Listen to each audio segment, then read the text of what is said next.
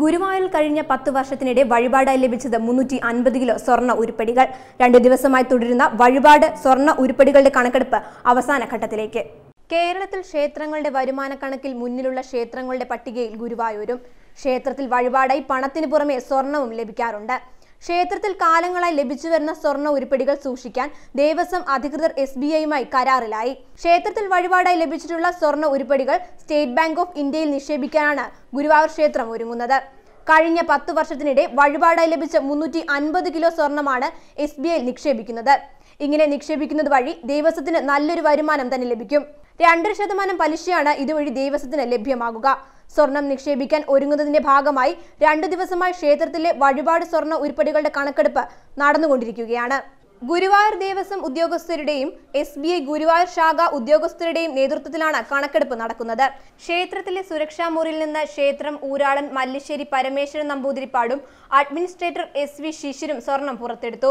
ഭരണസമിതി അംഗങ്ങളായ P Gopinathan A V Prasanth Devaswom deputy administrator K R Sunilkumar S B I branch manager Vishnu തുടങ്ങിയവരുണ്ടായി. സ്വർണ ഉരുപ്പടികൾ മുംബൈയിലെ സർക്കാർ മിന്റിൽ കൊണ്ടുപോയി ശുദ്ധീകരിച്ച ശേഷം നയൻ വൺ സിക്സ് ക്യാരറ്റാക്കി മാറ്റും. പിന്നീട് അതിന്റെ തുക കണക്കാക്കി റിസർവ് ബാങ്കിന്റെ അനുമതിയോടെയാണ് എസ് ബി ഐക്ക് കൈമാറുക. ഇതോടെ സ്വർണത്തിന് ഇൻഷുറൻസ് പരിരക്ഷയും ലഭിക്കും. എട്ട് വർഷം മുമ്പ് മുന്നൂറ് കിലോ സ്വർണം ദേവസ്വം ബോർഡ് ബാങ്കിൽ നിക്ഷേപിച്ചിരുന്നു.